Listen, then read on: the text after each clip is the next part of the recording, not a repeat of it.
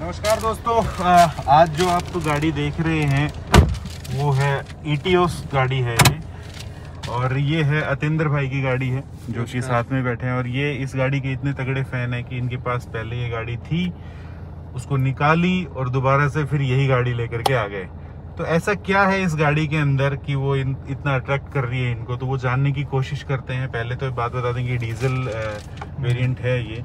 ये 2017 वेरिएंट है जी जनवरी दो हज़ार सत्रह। अच्छा जनवरी 2017 का है। और इससे पहले वाला जो था वो आपका 2012 2012 था। वो भी लाख से ऊपर चला करके आपने निकाल दी थी हाँ राइट अब तो ये डिसकंटिन्यू कर दी है टोयोटा ने लेकिन आप जब सेकंड हैंड लेना चाहते हैं इस गाड़ी को बहुत खूब खूबियाँ हैं इस गाड़ी की लोग टैक्सी में चलाते थे इसको बिज़नेस पर्पस के लिए इस्तेमाल करते थे और क्या खूबियाँ हैं और क्या कमियाँ हैं इस गाड़ी में ये भी जानेंगे अतिंदर भाई से। हम्म। तो अतेंद्र भाई सबसे पहले तो यही बताओ आपकी ऐसी क्या खूबी है कि आप दोबारा से इसको लेकर के आ गए हो गाड़ी इतना प्यार क्यों? हाँ। सर इतना प्यार इसलिए इस गाड़ी से क्योंकि सबसे पहले तो टोयोटा का जापानीज ब्रांड है। हम्म। मेंटेनेंस फ्री गाड़ी है। मेंटेनेंस कॉस्ट बहुत कम है इसकी। अच्छा। रनिंग कॉस्ट जो वो भी कम है ऑलमोस्ट बाकी गाड़ियों से। अच्छा। स्पेस खूब है। अब अगर हम इसको कंपेयर करें किसी एसयूवी से या किसी और सिडान से हाँ, तो एस में भी में भी फाइव सीटर ही होती है। हम्म। लेकिन उसके लिए आपको 16 से 17 लाख रुपए खर्च करने पड़ते हैं। बस एक हाँ। ग्राउंड क्लियरेंस बड़ा रहता है। अब आज इसमें मैं पीछे आराम से बैठा हूँ आप देख सकते हैं पीछे लेग में नीचे आप बुट नहीं है किसी तरह का कोई रुकावट नहीं है। तीन बंदे बड़े आराम से बैठ सकते हैं इसमें पीछे।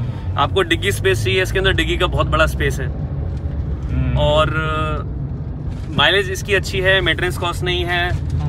और क्या चाहिए बताइए? और एसी हीटर है इसके अंदर डीफॉगर पीछे है एडजस्टेबल हाइट एडजस्टेबल सीट है पावर स्टेयरिंग है चारों पावर विंडोज़ हैं। ये बेस से एक ऊपर वाला वेरिएंट है राइट जी जी ये बेस से एक ऊपर वाला वेरिएंट अच्छा क्या जीडी है ना ये? जी हाँ जी जी डी है। ओके आ, एक बात आपसे जब बात हो रही थी तो आपने बताया कि जो आपकी पुराने वाली थी ना वो हाँ। ज़्यादा बढ़िया एवरेज निकालती थी। हाँ वो ज़्यादा बढ़िया एवरेज निकालती थी। वो ये कितना देती है ये कितना दे रही है वो नॉन एसी पे हाईवे पे सत्ताईस का एवरेज वो निकालती थी। अच्छा। छब्बीस सत्ताईस छब्बीस प्लस ही रहता था उसका। ओके और ये कितना देती है फिर? ये देती है हाईवे पे नॉन एसी में आता है इसका लगभग चौबीस के आसपास।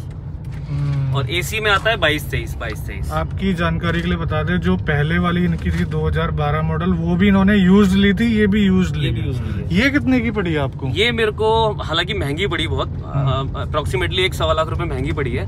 आइडली ये पाँच सवा पाँच की मिल जानी चाहिए थी बट मेरे को ये सवा छह लाख की पड़ी है विद इंश्योरेंस करा के। महँगा लेने का रीजन रीजन मेरी मेरी ये मेरे को यही गाड़ी ही चाहिए थी।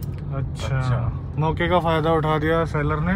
और मात्र अभी छब्बीस हज़ार किलोमीटर चली हुई है। जब इन्होंने ली थी तब सोलह चली थी शायद। तब ये चौदह हज़ार पाँच सौ किलोमीटर चली अच्छा। थी। तो उसने यार इतने कम किलोमीटर में क्यों बेच दी? सर उनका ना कुछ बैटरी का कुछ बिज़नेस था। अच्छा। तो उन्होंने ये दो गाड़ियाँ रखी हुई थी एक, एक सेम मॉडल की एक और गाड़ी गाड़ी भी थी उनके पास अच्छा। जो उन्होंने अपने जापनी, जापानीज उनके पास कुछ आते थे जो उनके जो रखे हुए थे उन्होंने मैनेजर्स हम्म। सिर्फ़ उन्हीं के लिए ही वो दो गाड़ियाँ रखी हुई थी उन्होंने पहले जो मैंने गाड़ी ली थी वो भी डायरेक्ट कस्टमर की थी एक कंपनी ओन करती थी उस गाड़ी को तो हम्म। उन्होंने अपने मैनेजर को दी हुई थी कंपनी ही मेंटेन करती थी उस गाड़ी को तो वो भी मैंने डायरेक्ट कस्टमर से ही ली थी पुरानी वाली कितने किलोमीटर में ली थी और कितने किलोमीटर में बेची आपने ये एक बहुत अच्छा सवाल है हम्म। पुरानी वाली मैंने सिर्फ़ तीन लाख साठ हज़ार रुपए में ली थी सत्तर हज़ार किलोमीटर चली हुई थी वो गाड़ी हम्म, हम्म। और with service with insurance hmm. सब कुछ और टैंक फुल था उसमें वो हम्म। किया हुआ मिला था मेरे को हम्म। और वो मैंने बेची तीन साल बाद लगभग पचास हज़ार किलोमीटर चलाने के बाद दो लाख पच्चीस हज़ार रुपए में। तो आप कह रहे हो कि सर्विस कॉस्ट काफ़ी कम कितने की होती है इसकी सर्विस सर लगभग बयालीस सौ से चौवालीस सौ रुपए का बिल आता है इसका। टोयोटा के अंदर? जी हाँ जी टोयोटा शोरूम में अंदर। हम्म। और अंतराल क्या है? दस हज़ार किलोमीटर? हाँ जी अंतराल दस हज़ार किलोमीटर का है। गोल सा बिल्कुल ही सिंपल सा स्टेयरिंग दिया हुआ है। लेकिन यहाँ पे थोड़ा सा लगेगा अरे कुछ दिखाई नहीं दे रहा फिर इधर देखना पड़ता है आपको। मैं प्यार से चलाने वाला इंसान हूँ बिल्कुल कोई जल्दी नहीं गाड़ी चलाते टाइम रोड पर किसी तरह की जल्दबाजी नहीं करता हूँ मैं। अच्छा। हम्म, क्योंकि घर भी समय से पहुँचना है और सुरक्षित पहुँचना है घर। और दूसरों को भी सुरक्षित रखना है। बिल्कुल बिल्कुल। और ये जो है उसी पर्पज के लिए बनी हुई है। ये जूझा भूबा वाली गाड़ी नहीं है। ये जो है ये कब तक निकालने का इरादा है? सर ये बिल्कुल ये बिल्कुल भी निकालने का इरादा नहीं है। अच्छा। चाहे मुझे कोई दस लाख रुपए भी दे तो भी मैं नहीं दूँगा इस गाड़ी को। और अगर आप सोच रहे हैं लेने की तो अपने दिमाग से बात निकाल ठीक है। कैसी लग रही तेरे को चलाने में? डिसेंट है सोबर सी है। ठीक है। इसका एग्रेशन पुरानी वाली से थोड़ा हल्का है। पुरानी वाली गाड़ी का एग्रेशन लेवल थोड़ा हाई था। और माइलेज भी आई था माइलेज भी हाई था उसका। ये पता है रवि बिल्कुल एक, मतलब जो बीच का सौदा नहीं होता है वैसी वैसी सी लग रही है कोई दिक्कत देगी नहीं आपको प्रॉब्लम नहीं देगी डीजल भराओ चलते जाओ डीजल भराओ चलते जाओ। और एक लाख बीस हज़ार चलाई थी आपने उसमें हाँ कुछ दिक्कत थी इंजन कोई दिक्कत नहीं किसी भी तरह की। हाँ, काफ़ी लोग बोलते हैं कि ये जो इसका इंजन है साढ़े तीन से चार हज़ार चार लाख किलोमीटर बड़े प्यार से चल जाता है। आप लोगों के भी काफ़ी कमेंट आते हैं और सात सात लाख भी चलाई है लोगों ने यार एटीओस आप जब गाड़ी चलाते हो ना तो याद रखने लायक कोई चीज़ नहीं बचेगी आपकी कि आप कुछ करके आए हो गाड़ी चला करके आए हो। बेकार लगी या अच्छी लगी आपने गाड़ी स्टार्ट करी आप एक जगह से दूसरी जगह पहुँच गए। सिंपल अपना काम खत्म करो और चल दो। वो वाला हिसाब किताब है इसका। हम्म। ज़बरदस्ती इंजन से बीएचपी निकालने वाला जो सीन होता है ना उसमें भी जो है स्ट्रेस पड़ता है इंजन को। लाइफ कम होती है थोड़ा बहुत उससे भी। 1400 सीसी का इंजन ये है जो लगभग 72 बीएचपी के आसपास पावर निकालता है। तो आराम आराम से चलाते जा और मैं चलता जाऊँगा। लगती भी है क्या नीचे से मतलब कि अगर ये नॉर्मल अपने ब्रेकर्स वगैरह नहीं सर उसका इंतज़ाम किया हुआ है। पहले जब मैं गाड़ी लेके आया था पुरानी वाली हाँ, तो शुरू में हमारे घर के पास कॉलोनी में ब्रेकर्स बन गए थे। तो हाँ। एक दो जगह लगी वहाँ पे तो मेरा दिमाग थोड़ा सा खनका कि इसका कुछ ना कुछ उपाय तो करना पड़ेगा। क्या किया जाए? हाँ तो मैंने सिर्फ़ पाँच सौ रुपए का खर्चा किया हाँ। और वो उपाय मैंने अब आप डिग्गी आप इसकी ठूस के भर लो और पाँच बंदे भी बैठा दो हाँ। तब भी ये डिग्गी कहीं इसका कहीं नीचे से लगेगी नहीं। क्या ब्रेकर तोड़वा दिया क्या? नहीं। पाँच सौ रुपए का खर्चा है इसके दिए? जी सस्पेंशन में गुटके लगवा दिए। अच्छा। मैं सोचा भाई ने ब्रेकर तोड़वा दिया बोले चल हटो जेसीबी वाले को दिए पाँच सौ रुपए। अच्छा बड़ी ज़्यादा देर नहीं चलाई तो अब ठीक है। पूरा इंटीरियर में सिर्फ़ यही जो है ना थोड़ा सा ब्लैक सा आपको लगेगा। वो भी नहीं देते तो भी सही था लेकिन वो रिफ्लेक्शन शायद उसकी वजह से इन्होंने दे दिया। हमें पूरी गाड़ी में से और कहीं से आवाज़ नहीं आ रही सिर्फ़ इस पोर्शन में से आ रही है। और इसमें भी से ढूंढ नहीं पाया आवाज़ आ कहाँ से रही है? सिर्फ़ एक नट सा जो है वो अंदर मेरे ख्याल से कुछ खुला पड़ा हो। सतेंद्र जी कभी पहाड़ साइड में ले गए हो बिल्कुल सर लेके गया हूँ। पिछले साल अगस्त में गाड़ी ली थी मैंने अक्टूबर में ही लेके गया था मैं हिमाचल हमीरपुर। हमीरपुर। तो ये बताइए फुल लोड में थी या आप अकेले गए थे? सर फुल लोड में थी गाड़ी। हम सिर्फ़ दो बंदे बैठे थे गाड़ी में लेकिन डिग्गी पूरी पैक थी सामान भरा हुआ था हम्म। और यहाँ तक कि सीटों में भी सामान भरा हुआ था। और उस टाइम अक्टूबर में एसी चलाने की ज़रूरत पड़ी नहीं थी हमें थोड़ा बहुत ही बीच में चलाया था। तब इसकी माइलेज आई थी लगभग 22 किलोमीटर की। पहाड़ों में भी? हाँ जी। और पावर की कोई कमी महसूस हुई? पावर की कोई कमी तो बस यही थी कि आपका वहाँ से सेकंड और थर्ड से टॉप चौथा गियर तो लगता ही नहीं है वहाँ पे। सेकंड थर्ड सेकंड थर्ड में ही चलती है।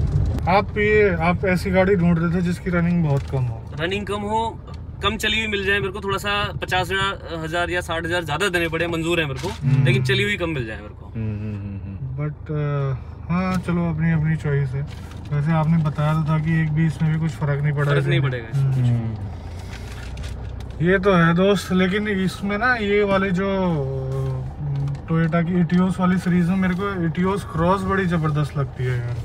जैसे आपकी ज़रूरत है उस हिसाब से देखोगे जैसे भाई साहब की ज़रूरत थी उस हिसाब से उन्होंने सेडान प्रीफर करी।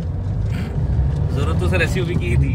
मतलब ज़रूरत क्या मतलब चाह तो एसयूवी की थी बट सारे चीज़ें जो सेडान में ही मिल जाए तो फिर ज़रूरत नहीं है एक्स्ट्रा पैसे खर्च करने की। पता नहीं यार वैसे टोयोटा ने बंद नहीं करनी चाहिए थी गाड़ी यार। अरे ये वो जाएगी ना उसमें बेला बेल्टा बेल्टा सत्रह मॉडल साढ़े छः लाख रुपए ऑल न्यू कंडीशन और लंबी रखनी है तो आपकी चॉइस अच्छी है। स्पेस की ज़रूरत है तो आपकी चॉइस बहुत अच्छी है।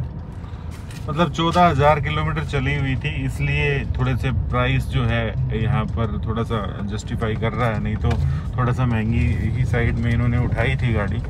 छः साढ़े छः लाख के आसपास जो है आप लोग और दूसरी गाड़ियाँ भी देख सकते हो। ठीक है बहुत सारे लोगों को इसके लुक्स जो है वो थोड़ा सा पसंद नहीं आती हैं। हाँ।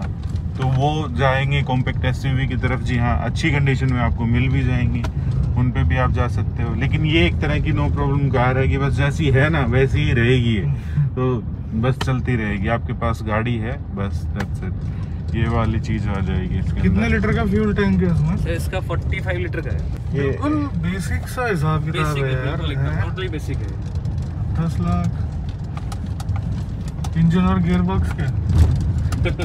तो आप लोग हमें बताइए कि अगर आप लोग मतलब छः सात लाख के अंदर इस गाड़ी के ऊपर जाना पसंद करेंगे या कोई और गाड़ी लेना पसंद करेंगे वो नीचे लिंक्स जो सॉरी डिस्क्रिप्शन के अंदर डिस्क्रिप्शन बोल रहा हूँ कमेंट के अंदर वो आप लोग जो है वो कमेंट के अंदर हमें लिख करके ज़रूर बताइएगा। हमें भी पता चले कि आप लोगों की पसंद जो है वो उस प्राइस रेंज में कौन सी गाड़ी होगी। ठीक है? और नई का भी बताइएगा अगर नई ले रहे हो तो कौन सी आप लोग? अगर आपको ये पसंद होगी तो रोहित ढूंढ ढूंढ के लाएगा आपके लिए। हाँ रवि कमीशन बता देगा पूरा ठीक है? तो चलो दोस्तों ये था आज का हमारा वीडियो। इटियोस के बारे में भाई साहब से पूरी बातें पूछी कि भाई क्या कुछ सर्विस कॉस्ट आती है क्या पॉजिटिव क्या नेगेटिव सारी चीज़ें। ठीक है उम्मीद करते हैं आप लोगों को पसंद आया होगा ये वीडियो। और मिलते हैं ऐसे किसी नेक्स्ट वीडियो के अंदर। इसी मैसेज के साथ कि अगर फोर व्हीलर चलाते हैं तो सीट बेल्ट ज़रूर डालिएगा। टू व्हीलर अगर चलाते हैं तो हेलमेट ज़रूर पहनिएगा। जय हिंद जय भारत। भारत माता की जय। Thank you so much Arinder भाई। Thank thank you so much